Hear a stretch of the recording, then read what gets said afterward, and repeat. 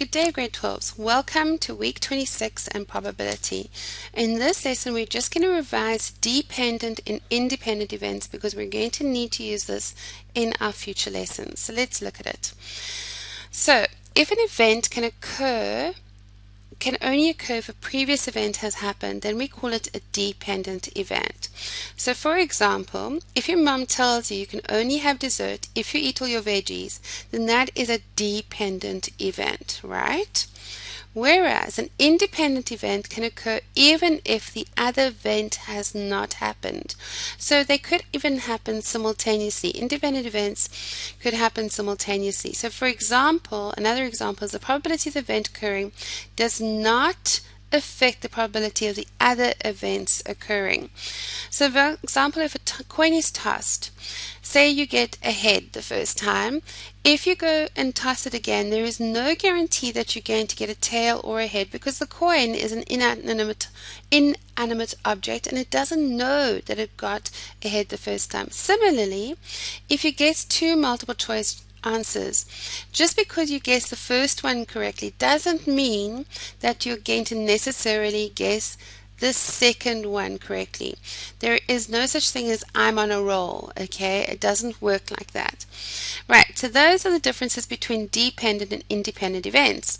But we need to obviously find a way to mathematically quantify this. And it's easier to calculate independent events than dependent events. So the definition is two events A and B are independent if and only if the probability of A and B together equals the probability of A multiplied by the probability of B.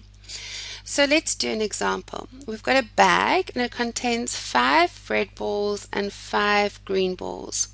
Remove a random ball from the bag, note its color, and then return it to the bag. We then remove another ball and note its color.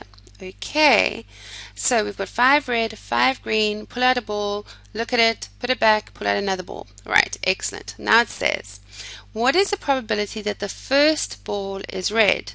Well, do you see that we've got five red balls and we've got five green balls and therefore we've got 10 little balls altogether. So the probability that the first ball is going to be red is what? It is going to be 5 out of 10, which is a half. Okay, awesome. Now it says, what is the probability the second ball is green? Well, we also have, we put all the balls back, right? We took out a ball and we put it back. So there's nothing influencing it. So now, do you agree that there are still five green balls and five red balls, therefore we have 10 balls altogether. So the probability that the second ball is going to be green is again going to be 5 over 10, which equals a half. Okay. Now it says what is the probability that the first ball is red and the second ball is green? Well, the probability that the first ball is red is a half, and the probability that the second ball is green, or that the second ball is green, is a half. So therefore, the probability of the first being red and the second being red, green is going to be 5 over 10 times by 5 over 10 or a half times a half, which equals a quarter. Right.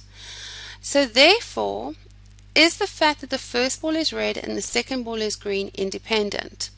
So this bit here is the probability of A and B happening, which equals a quarter. This here is probability of A, if we look at our definition, and this is the probability of B. So that's our definition. Probability of A and B is equal to probability of A times the probability of B. This here is the probability of A and B. This would be the probability of A and that would be the probability of B. So the first red ball, probability of A is a half. Probability of B is a half. Then the first and the probability of A and B is a quarter. But do you see that this is a half and that's a half. So a half times a half is a quarter and therefore they are said to be independent. And that is how we can prove that events are independent.